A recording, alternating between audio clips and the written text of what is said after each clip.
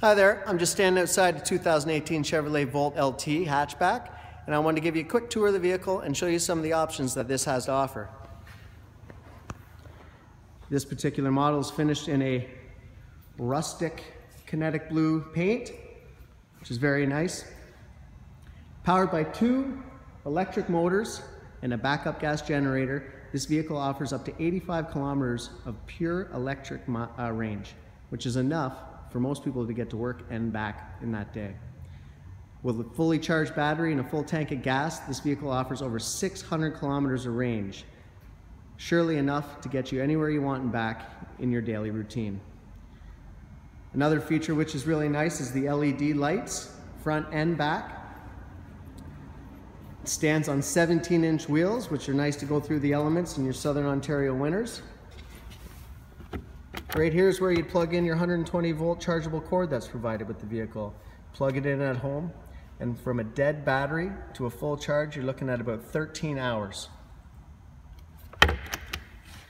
Another nice option this trim level has is the remote keyless start and the keyless entry.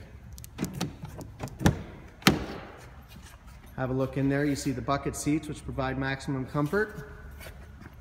I'll just have a seat inside and start it up for you. One, so you hear how quiet it is, and two, so you can see how easy it is to navigate around.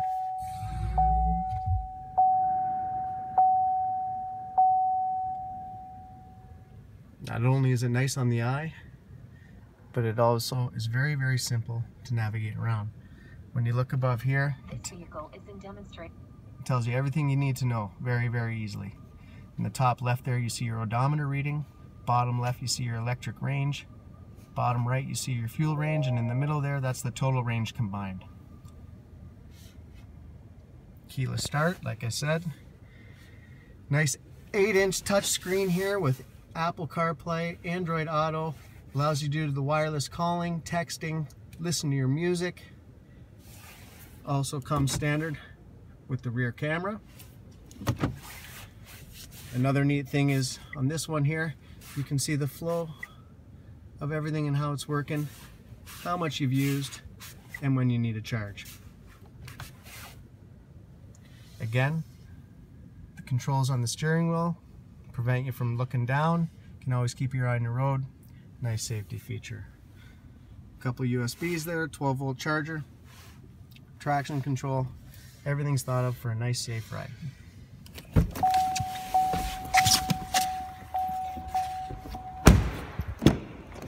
Show you the back seat. Three seats back here. It is a five seat car. You can see the cup holders in the middle there. Also another 12 volt uh, charging.